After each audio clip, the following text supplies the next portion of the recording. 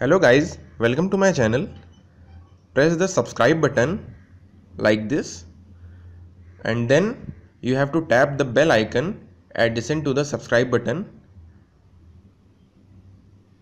like this and then you will get the notifications from my channel. Hello guys and welcome to my channel.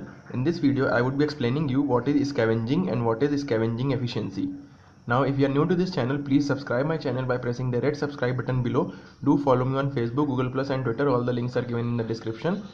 If you like this video please press the like button. Do share it on whatsapp facebook etc and if you have any doubt suggestion or feedback please mention in the comment section. Now scavenging is the removal of the burned gases from the cylinder by the fresh charge that is entering through the inlet port. Now scavenging term refers to the two stroke engines not to the four stroke engine.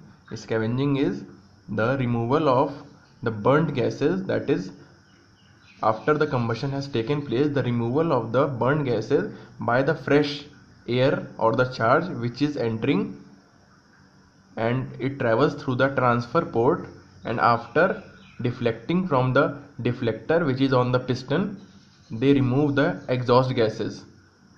So this is scavenging and the efficiency scavenging efficiency is the effectiveness with which the burnt charge is removed from the cylinder with the use of inlet gases in or inlet charge and without much loss of the inlet charge. Now there can be two stroke diesel engines or two stroke petrol engines. Now scavenging efficiency is more in case of two stroke diesel engine because the inlet charge is air. And if air is lost then also it is not a problem. But in case of two stroke petrol engine the scavenging efficiency is low because the, uh, the inlet charge contains petrol plus air. So if more amount of inlet charge is lost from the exhaust port while scavenging then the petrol will consume more so the efficiency overall thermal and mechanical efficiency will also reduce in case of two stroke petrol engine. But in case of two stroke diesel engine the fresh charge contains only air so it can be easily uh, so it has high scavenging efficiency and overall thermal and mechanical efficiency.